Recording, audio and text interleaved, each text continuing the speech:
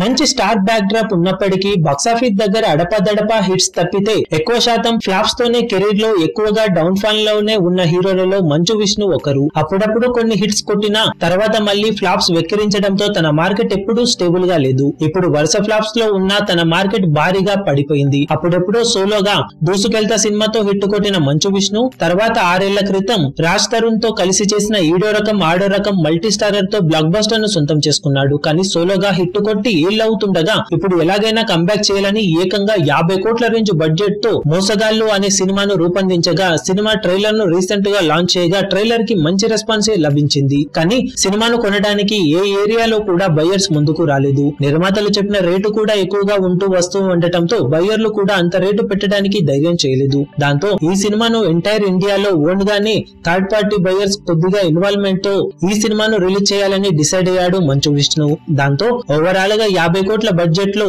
అన్ని భాషలలో కలిపి నాన్ థియేట్రికల్ రైట్స్ శాటిలైట్స్ అలాగే డిజిటల్ ఇలా అన్ని రైట్స్ కలిపి సుమారు ముప్పై కోట్ల మేర ఎలాగోలా రికవరీ అయిందని సమాచారం. దాంతో బడ్జెట్లో మొత్తం రికవరీ అవ్వాలంటే మరో ఇరవై కోట్ల మేర రికవరీ సొంతం చేసుకోవాల్సిన టార్గెట్ ఉండగా ఇప్పుడు ఆ ఇరవై కోట్లు బాక్సాఫీస్ దగ్గర అన్ని వర్షన్స్ కలుపుకొని సినిమా రికవరీ చేయాల్సిన అవసరం నెలకొంది.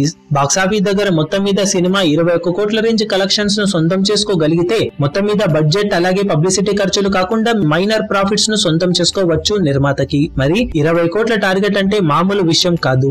మరి ఈ సినిమా అన్ని భాషల్లో కలిపి ఈ టార్గెట్ను అందుకునే అవకాశం ఉందో లేదో చూడాలి. ఎంత పాజిటివ్ టాక్ వచ్చినా హ్యూమంగస్ కలెక్షన్స్ సాధిస్తేనే సినిమా ఆ మార్కును అందుకునే అవకాశం ఉంటుంది. మరి ఈ సినిమా ఎలాంటి రిజల్ట్ను సొంతం చేసుకుంటుంది? బాక్సాఫీస్ దగ్గర ఎలాంటి కలెక్షన్స్ను అందుకుంటుందో చూడాలి. ఈ వీడియో మీకు నచ్చినట్లయితే లైక్ చేయండి షేర్ చేయండి ఛానల్ను సబ్స్క్రైబ్ చేయడం మాత్రం మరవకండి. ఏ చిన్న అప్డేట్ను మిస్ అవ్వకూడదు అనుకుంటే బెల్ ఐకాన్ను ప్రెస్ చేయండి.